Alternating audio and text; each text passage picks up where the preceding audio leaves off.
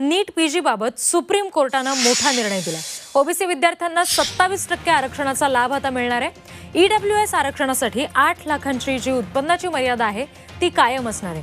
नीट पीजीचं समुपदेशन सुरू करायला आता मान्यता देण्यात आलेली आहे. एक मोठा निर्णय आता दिलेला आहे कोर्टानं. नीट पीजी प्रवेशांबाबत सुप्रीम कोर्टानं हा मोठा निर्णय दिलाय. ओबीसी विद्यार्थ्यांना सत्तावीस टक्के आरक्षणासह प्रवेश मिळणार आहे.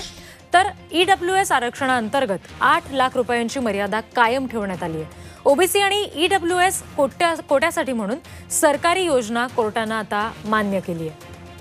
सध्याच्या घडीची एक मोठी बातमी पाहतोय. नीट पी जीबाबत मोठा फैसला झालाय. आता प्रवेश घेण्यासाठी म्हणून ओबीसी विद्यार्थ्यांना सत्तावीस टक्के आरक्षण दिलं जाणार आहे. ईडब्ल्यू एस आरक्षणासाठी आठ लाख उत्पन्नाची मर्यादा ही कायम आहे.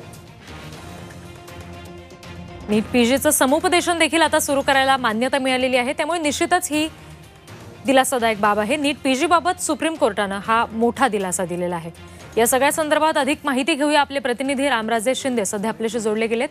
रामराजे ओबीसी विद्यार्थ्यांना हा जो सत्तावीस टक्के आरक्षणाचा लाभ मिळतोय हा निश्चितच दिलासादायक म्हणावा लागेल त्यांच्यासाठी. बिलकुल देशभरातील जे मेडिकलचे विद्यार्थी आहेत जे पी जी करतायत त्यांना काउन्सिलिंगमध्ये हा अधिकार मिळावा यासाठी ही लढाई सुरू होते आणि मुद्दा केव्हा आला? ज्या वेळेस ई डब्ल्यू एसमध्ये सुद्धा आठ लाखाची मर्यादा जी आहे ती वाढवण्यात आली होती वाढवण्यात आली. अगोदर ती अडीच लाखाची होती त्यानंतर ही आठ लाखापर्यंत करण्यात आली. आणि त्यामुळं अनेक विद्यार्थी अनेक इतर विद्यार्थ्यांवर अन्याय होईल अशी एक भावना निर्माण झाली होती आणि त्या संदर्भामध्येच सुप्रीम कोर्टामध्ये सुनावणी झाली.